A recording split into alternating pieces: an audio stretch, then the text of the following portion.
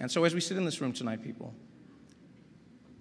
I really hope you all remember what the real purpose of this evening is. Yes, it's fun. Yes, we dress nice. Yes, the people eat, they drink, we have fun. But the reason we're here is to honor and celebrate the Fourth Estate and what you stand for.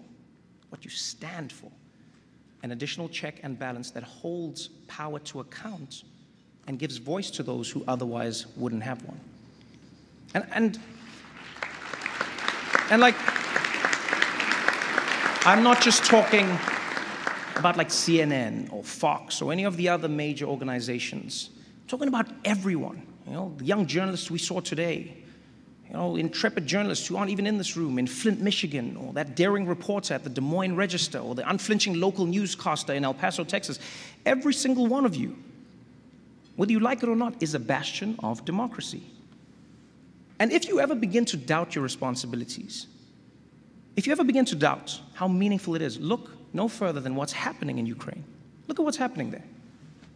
Journalists are risking and even losing their lives to show the world what's really happening.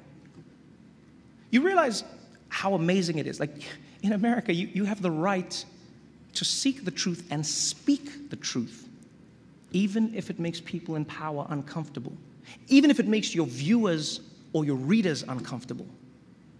You understand how amazing that is? I stood here tonight and I made fun of the President of the United States, and I'm gonna be fine. I'm gonna be fine, right?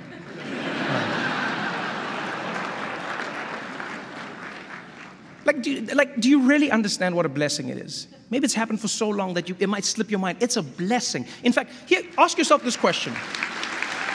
Honestly, ask yourself this question. If, if Russian journalists who are losing their livelihoods, as you were talking about, Steve, and their freedom for daring to report on what their own government is doing, if they had the freedom to write any words, to show any stories, or to ask any questions, if they had basically what you have, would they be using it in the same way that you do? Ask yourself that question every day because you have one of the most important roles in the world. Thank you so much for having me. I appreciate you. Please be careful leaving tonight. We all know this administration doesn't handle evacuations well. Good night, everybody. Thank you so much.